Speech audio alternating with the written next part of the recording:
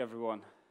I would like to ask you to imagine with me that you are on a bus, and the bus stop, and I just got on this bus, and I sat on the seat next to you. And we really like to get to know more about each other. But unfortunately, I have to jump off on the next stop, so we don't have a lot of time. What I'm wondering is could you share with me three things that defined you as a person? Three things about yourself that gonna help me understanding who you are. Three things go to your essence.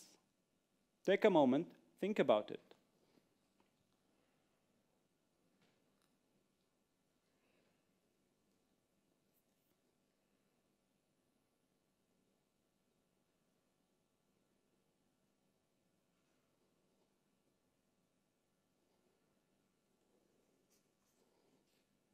Well, now I'm wondering, out of those three things, is any of them linked to a negative experience that you've been through? Like war survivor, unemployed, abuse victim?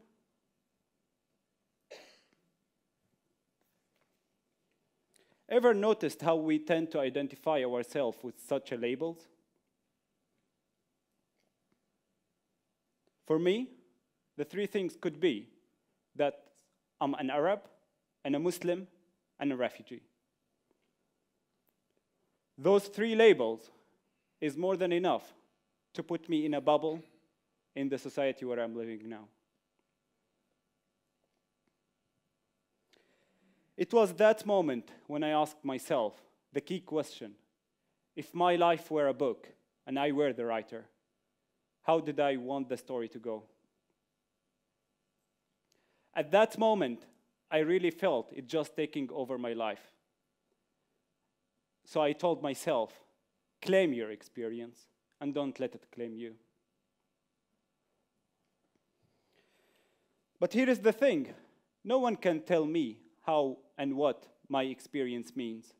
I have to decide that myself. That's why I started We. We is a young social initiative to promote social inclusion, build bonds, and fight xenophobia. As one of the We project, we have We Are the Refugees. It's a project to raise awareness about the refugee crisis in Europe, targeting the schools, universities, companies, and NGOs all over the Netherlands, with the aim to open a safe zone for interactive dialogue, and in a way to have the ability to have the discussion and the debate on, the, on their safe zone. We are the elderly.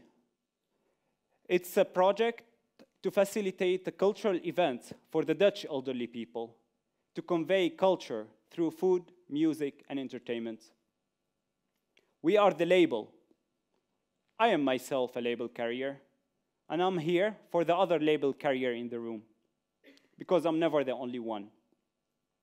So this project is about sharing life stories for the people who have been negatively labeled by their society.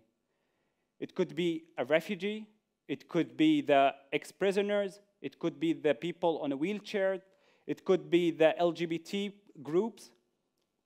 This is what this project is about.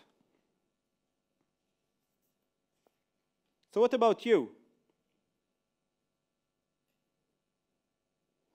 How are you going to find a meaning in your experience? Have you ever thought or asked this question to yourself? Meaning doesn't have to be something huge.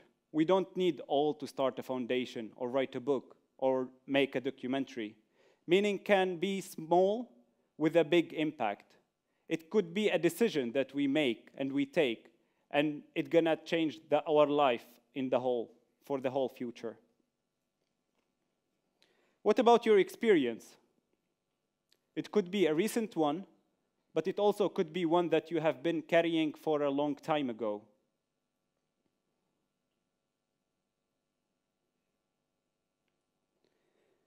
It's never too late to change what it means. because meaning is a dynamic.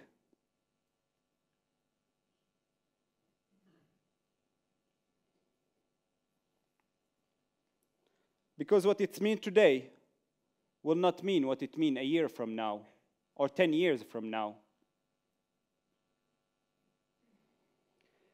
It's never too late to become someone more, more than just a label. Can you hear how hectic this word sounds? A refugee, wheelchaired, refugees, no movement, no growth. What if people decide to climb their labels as an experience and don't take it as an identity? Maybe it would be the beginning to start defining ourselves, but who we have become and who we are becoming.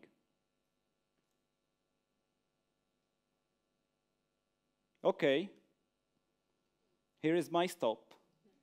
It's been a short journey, but I'm really glad that we've been on all this journey together. And maybe when I just stand here, probably for some of you, I was only the Arab, the Muslim, and a refugee.